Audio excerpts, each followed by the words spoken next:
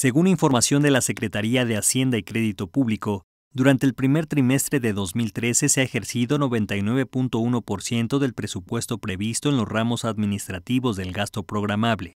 Durante la presentación de la estrategia de contratación pública, el presidente de la República, Enrique Peña Nieto, afirmó que con ello se puede decir que se ha eliminado el subejercicio del gasto. En este sentido, y ante efectos económicos internacionales, es prioritario ejercer con eficacia el presupuesto público durante la segunda mitad del año.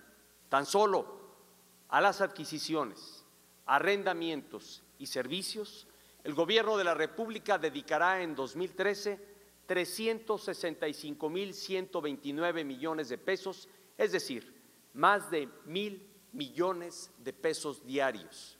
En ese sentido, detalló que con la estrategia de contratación pública que contempla compras consolidadas, contratos marco, subastas en reversa y un mayor uso de las tecnologías de la información mediante licitaciones electrónicas, se refrenda el compromiso del gobierno federal de incrementar el impacto positivo en la economía de las compras gubernamentales.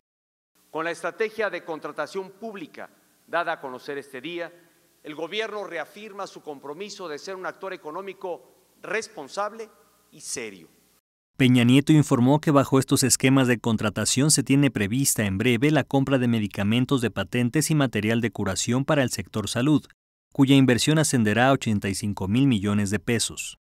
Asimismo, el presidente aprovechó para hacer un llamado a los diferentes actores políticos para que respeten la decisión ciudadana expresada en las urnas en los pasados comicios del fin de semana. Con información de Susana Cerezo, Notimex.